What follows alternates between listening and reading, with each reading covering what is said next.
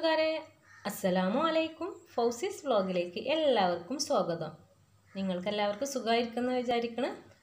അപ്പോൾ ഞാൻ ഇന്ന് ഇവിടെ വന്നിട്ടുള്ളത് നമ്മുടെ റവ കേക്ക് ഉണ്ടാക്കാൻ വേണ്ടിയിട്ടാണ്. ആ വെട്ട് കേക്കില്ലേ റവന്റെ അത്. അപ്പോൾ നമുക്കത് എങ്ങനെ ഉണ്ടാക്കാൻ നോക്കാം. എന്തൊക്കെയാണ് സാധനങ്ങൾ വേണ്ടതെന്ന് നോക്കാം. അപ്പോൾ അത് ഇതിനായിട്ട് നമുക്ക് വേണ്ടത് മൈദയോ ഗോതമ്പ് പൊടിയോ ആണ്. നിങ്ങൾ ഏതാ ഉണ്ടാക്കാൻ ഉദ്ദേശിക്കുന്നത് ഏത് പൊടിയില്ല വെച്ചാൽ അതെടുക്കാം അപ്പോൾ അത് എടുത്തിട്ടുള്ളത് ഈ കപ്പിന് രണ്ടര കപ്പ് ഗോതമ്പ് പൊടിയാണ് കേട്ടോ ഞാൻ എടുത്തിട്ടുള്ളത് ഗോതമ്പ് പൊടിയിലാണ് ഞാൻ ഉണ്ടാക്കാൻ പോകുന്നത്. പിന്നെ നമുക്ക് വേണ്ടത് രണ്ട് മുട്ട വേണം. പിന്നെ വേണ്ടത് കുറച്ച് പഞ്ചസാര എന്താ പഞ്ചസാര കുറച്ച് ഏലക്കായ പിന്നെ കുറച്ച് മഞ്ഞൾപ്പൊടി ഉപ്പ് ബേക്കിംഗ് പൗഡർ ഇത്രയും സാധനങ്ങളൊക്കെ കേട്ടോ ഇതിലോട്ട് വേണ്ടത്. അപ്പോൾ നമുക്കിത് എങ്ങനെയാണ് ഉണ്ടാക്കാൻ നോക്കാം. അപ്പോൾ നമ്മൾ ഈ ഗോതമ്പ് പൊടി ഇതിലോട്ട് ഇട്ട് വെച്ചിട്ടുണ്ട്. പിന്നെ ഇതിലോട്ട് വേണ്ടത് റവ ഉണ്ട് കേട്ടോ അതാണല്ലോ കാര്യമായിട്ടുള്ള സാധനം. അത് പറയാൻ വിട്ടുപോയി. റവ വേണം. അത് ഞാൻ ഈ കപ്പിന് ഒന്നര കപ്പാണ് എടുത്തിട്ടുള്ളത്. വറുത്ത റവ കേട്ടോ അത്. ഇത് ഇതിലോട്ടിട്ട് കൊടുക്കാം. പിന്നെ നമുക്ക് കുറച്ച് ഒരു കാൽ ടീസ്പൂൺ ബേക്കിംഗ് പൗഡർ ഇതിട്ട് കൊടുക്കാം. പിന്നെ നമുക്ക് കുറച്ച് കളറിന് വേണ്ടിയിട്ട് കേട്ടോ യെല്ലോ ഫുഡ് കളർ ഉണ്ടെങ്കിൽ നിങ്ങൾ അത് ഇട്ടോളൂ. ഞാൻ മഞ്ഞപ്പൊടിയാണ് ഇട്ട് കൊടുക്കുന്നത്. പിന്നെ ഒരു നുള്ള് ഉപ്പ്. ഇത്രയും സാധനങ്ങളാണ് നമുക്ക് ഇപ്പോൾ ഈ ഇതിലോട്ട് വേണ്ടത്.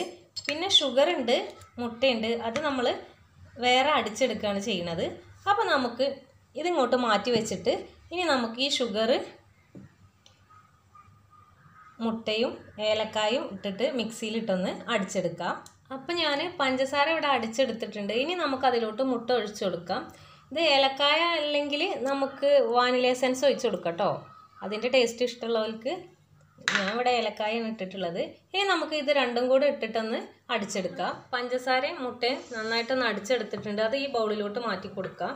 ഇനി ഈ മിക്സ് വെച്ചിട്ടാണ് നമ്മൾ ഈ പൊടി കുഴച്ചെടുക്കുന്നത്. അപ്പോൾ ഞാനിതാ ഈ മുട്ടയും പഞ്ചസാര അടിച്ചെടുത്ത മിക്സ് ഇതിലോട്ട് ഈ പൊടിയിലോട്ട് ഇട്ടിട്ട് നന്നായിട്ടൊന്ന് മിക്സ് ചെയ്യുന്നുണ്ട്. ഇതെല്ലായിടത്തും മിക്സ് ആയതിന് ശേഷം നമ്മൾ കൈ കൊണ്ട് കുഴച്ചെടുക്കാം കേട്ടോ ചെയ്യുന്നത്.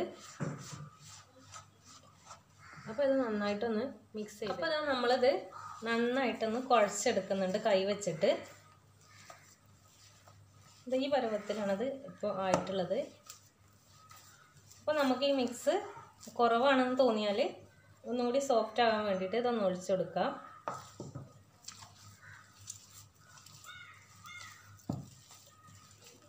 നന്നായിട്ടൊന്ന് കുഴച്ചെടുക്കട്ടോ മൈദ വെച്ചിട്ടാണ് ഇത് സാധാരണ ചെയ്യാറുള്ളത്.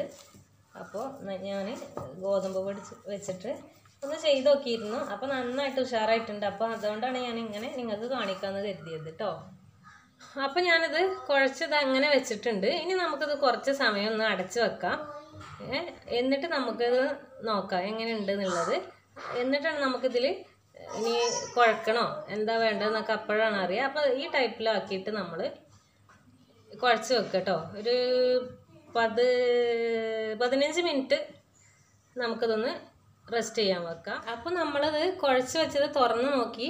അപ്പോൾ അതാ കണ്ടോ ഇങ്ങനെ നന്നായിട്ട് കുഴിഞ്ഞ് പോകുന്നുണ്ട്. അപ്പോൾ ഇനി ഇത് നമുക്ക് ഒന്ന് നമ്മൾ ഇങ്ങനെ പത്രിക്കൊക്കെ കുഴച്ചെടുക്കൂലേ? ഉരുളകളാക്കാൻ വേണ്ടിയിട്ട് അതുപോലെ ഒന്ന് ചെയ്തെടുക്കണം. അപ്പോൾ ഞാനത് ഈ പാത്രത്തിൽ നിന്ന് വേറെ ഒരു തട്ടിലോട്ട് മാറ്റുകയാണ് കേട്ടോ. അപ്പോൾ ഞാനിത് ഇതുപോലെ ചെയ്തെടുത്തിട്ടുണ്ട്. ഇനി നമുക്കിതിന്റെ ഈ ഭാഗം ഈ ഭാഗം ഒന്ന് കട്ട് ചെയ്തിട്ട് ഒഴി- ഒഴിവാക്കി വെക്കണം. കാരണം അതൊരു നല്ല ഷേപ്പിൽ കിട്ടാൻ വേണ്ടിയിട്ടാണ് കേട്ടോ. നമ്മുടെ ആ കേക്കിന്റെ അതേ ഷേപ്പിൽ കിട്ടാൻ വേണ്ടിയിട്ടാണ് അങ്ങനെ ചെയ്യുന്നത്. അപ്പോൾ നമുക്കിതൊന്ന് മുറിച്ച് മാറ്റാം. അപ്പോൾ ആ രണ്ട് സൈഡും ഞാൻ മുറിച്ച് മാറ്റിയിട്ടുണ്ട്. ഇനി ഇത് കത്തി വെച്ചിട്ട് നമുക്ക് എത്ര വലിപ്പമാണോ വേണ്ടതെന്ന് വെച്ചാൽ അതിങ്ങനെ കട്ട് ചെയ്ത് കൊടുക്കുകയാണ് കേട്ടോ ചെയ്യണത്. അപ്പോൾ ഞാൻ കട്ട് ചെയ്ത് എടുത്തിട്ടുണ്ട്. അപ്പോൾ ഇതല്ല ഇനി കുറച്ചുകൂടെ ഉണ്ട് കേട്ടോ കട്ട് ചെയ്യാൻ. അപ്പോൾ ഞാൻ മുറിച്ചത് കാണിച്ചു തരുകയാണ് ഇനി ഇത് നമുക്ക് നാല് ഭാഗമാക്കിയിട്ട് ഇതിന്റെ മുകളിൽ ഇങ്ങനെ ഒന്ന് കത്തി വെച്ചിട്ട് വെട്ടിക്കൊടുക്കുകയാണ് ചെയ്യുന്നത്. അതുകൊണ്ടാണല്ലോ ഇതിന് വെട്ട് കേക്ക് എന്ന് പേര് വരുന്നത്. അപ്പോൾ നമുക്ക് അങ്ങനെ ഒന്ന് ചെയ്ത് നോക്കിയാലോ? അപ്പോൾ അതാ ഇങ്ങനെ വെട്ടിക്കൊടുക്കുകയാണ് ചെയ്യുന്നത്. നന്നായിട്ട് കുഴിഞ്ഞു പോണ്ട. ഇതാ ഇങ്ങനെ.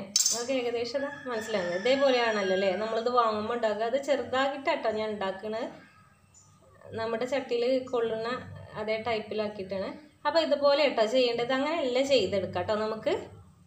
അപ്പോൾ കൂട്ടുകാരെ നമ്മുടെ റവ കേക്ക് തക്കണം ഞാൻ ഇങ്ങനെ എല്ലാം ഇങ്ങനെ ഈ ഷേപ്പിലാക്കി എടുത്തിട്ടുണ്ട്. ഇനി നമുക്കിതൊന്ന് പൊരിച്ചെടുക്കണം. അപ്പം അതിന് വേണ്ടിയിട്ട് ഞാൻ എണ്ണ വെച്ചിട്ടുണ്ട്. കാരണം ഇത് എണ്ണ ചൂടാകുമ്പോൾ നന്നായിട്ട് മറ്റുള്ള അപ്പങ്ങളൊക്കെ ചുടുന്നത് പോലെ നന്നായിട്ട് വെട്ടി ചൂടാകണ്ട കേട്ടോ വെട്ടി തിളച്ച് വരണ്ട വെളിച്ചെണ്ണ. വെളിച്ചെണ്ണ ഓയിലോ നിങ്ങൾ ഏതെടുക്കണ ആ എണ്ണ. കാരണം ഇത് മുട്ടയും റവയും ഒക്കെ ആയതുകൊണ്ട് തന്നെ പെട്ടെന്ന് പുറം ഭാഗം കരിഞ്ഞു പോകും. പിന്നെ ഉൾവശം നമുക്ക് വെന്ത് കിട്ടില്ല. അപ്പോൾ നമ്മൾ ഒരു മീഡിയം ചൂടിലിട്ടിട്ട് വേണം ഇത് വേവിച്ചെടുക്കാനായിട്ട് കേട്ടോ അപ്പോൾ നമുക്കിനി ഇത് ചുട്ടെടുത്താലോ? എണ്ണ അത് ചൂടായി വന്നിട്ടുണ്ട്. ഇനി നമുക്ക് ഇതിലോട്ട് ഓരോന്നായിട്ട് ഇട്ട് കൊടുക്കാം കേട്ടോ ഇതാ ഓരോന്നായിട്ട് ഇങ്ങനെ ഇട്ട് കൊടുക്കാം. അപ്പോൾ ഫ്ലെയിം പറ്റ കുറച്ചിട്ട് വേണം നമ്മളിത് ചെയ്യാൻ വേണ്ടിയിട്ട്.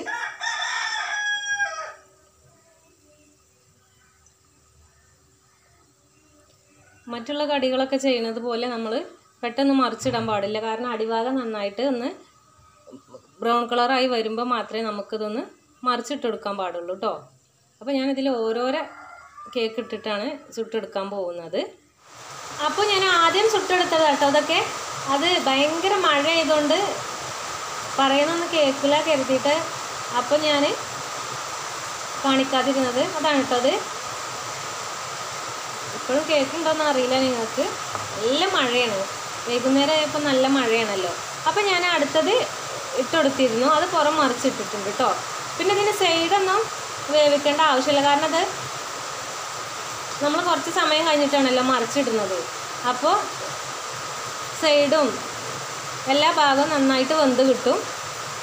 പിന്നെ എന്ന് പറഞ്ഞാൽ ഇതിൽ നമ്മൾ മാ പൊടിയൊക്കെ കുഴച്ചിട്ട് മറ്റുള്ള സാധനങ്ങൾ ഉണ്ടാക്കുന്നത് പോലെ എണ്ണയിൽ ആ പൊടിയൊന്നും കലർന്ന് പോവില്ല. കാരണം ഈ റവ ഇതായതുകൊണ്ട് തന്നെ അത് എണ്ണയിൽ കലരാതെ ഇതിൽ തന്നെ ഒട്ടിപ്പിടിച്ചിട്ട് ആ കേൾക്കുമ്പോൾ തന്നെ ഉണ്ടാവും. അപ്പം ആ എണ്ണ പിന്നെ നമുക്ക് വേറെ എന്തെങ്കിലും ചുട്ടെടുക്കാൻ എടുക്കുകയും ചെയ്യാം. അപ്പോൾ ഈ കേക്ക് ഉണ്ടാക്കാൻ വളരെ ഈസിയാണ് കേട്ടോ.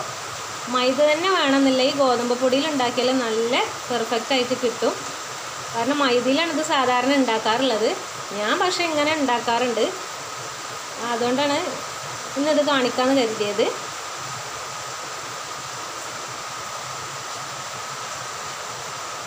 അപ്പോൾ ഇനി നമുക്കിത് ഒന്നുകൂടെ ഒന്ന് മറിച്ചിട്ടെടുക്കാം.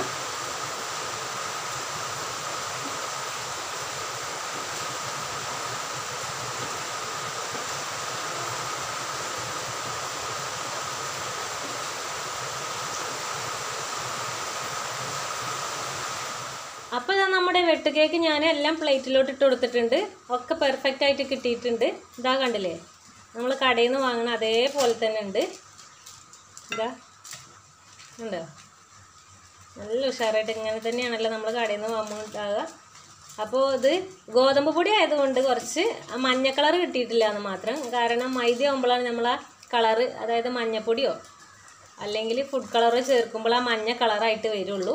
ചിലത് ഇങ്ങനെ ഈ കളർ ഉണ്ടാവും കേട്ടോ അപ്പോൾ നിങ്ങൾ ഈ ഗോതമ്പ് പൊടി വെച്ചിട്ടൊന്ന് ഇതൊന്ന് ട്രൈ ചെയ്ത് നോക്കണേ.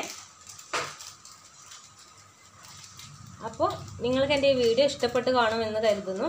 അപ്പോൾ ഇതിന് മുന്നേ ഞാനൊരു മിഠായി ഉണ്ടാക്കിയിരുന്നു. അപ്പോൾ അതിൽ പറഞ്ഞു കമന്റ് ഉണ്ടായിരുന്നേ ചാനൽ വളരെ ദാരിദ്ര്യത്തിലാണോ എന്നൊക്കെ. ദാരിദ്ര്യം കൊണ്ടല്ല കേട്ടോ അന്ന് ഞാൻ ആ ചട്ടി അവിടെ വെച്ചതെന്ന് മാത്രം. കാരണം അത് ശർക്കര ഒരുക്കി കഴിഞ്ഞപ്പോഴാണ് അതിൽ ആ തേങ്ങ ഇടാൻ കഴിയില്ല എന്ന് തോന്നിയത്. പിന്നെ ഞാനത് മാറ്റാനൊന്നും പോയില്ല. അതുകൊണ്ടാണ് കേട്ടോ അല്ലാതെ ദാരിദ്ര്യം കൊണ്ടൊന്നുമല്ല. അപ്പോൾ കമന്റ് ഇട്ടവർ അത് കാണും എന്ന് വിചാരിക്കണത്. അപ്പോൾ ആദ്യമായിട്ടാണ് നിങ്ങൾ എന്റെ ഈ ചാനൽ കാണുന്നതെങ്കിൽ ലൈക്ക് ചെയ്യാനും ഷെയർ ചെയ്യാനും മറക്കരുതേ. കൂടാതെ തൊട്ടടുത്തുള്ള ബെല്ലൈക്കൺ അമർത്തണേ. കമന്റുകൾ ഉണ്ടെങ്കിൽ അറിയിക്കുക. അപ്പോൾ അടുത്ത വീഡിയോ ആയി വരുന്നത് വരെ അസ്സലാമു അലൈക്കും.